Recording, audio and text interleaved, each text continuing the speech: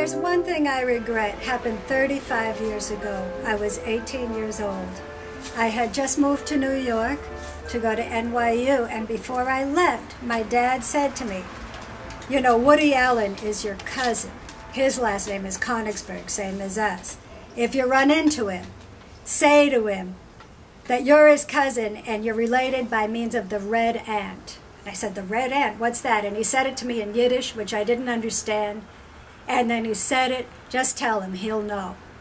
And there I was, my first year in New York, and I'm in a pizza parlor full of people with one empty table at the back.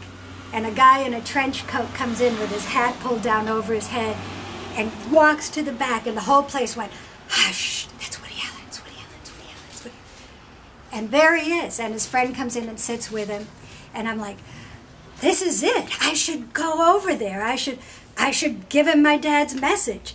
And, uh, and I was too nervous. And then this guy walks over to the table and he's like, Hi there, you're Woody Allen, pleased to meet you. He shakes his hand. And I thought, Oh my God, he looks like a jerk. I'm not going to do it. I'm not going to do it. And I thought, Okay, what I can do is I can write my name on a napkin, Amy Konigsberg, and with my phone number, and he can call me and I'll tell him. But then I got too nervous and I didn't even do that.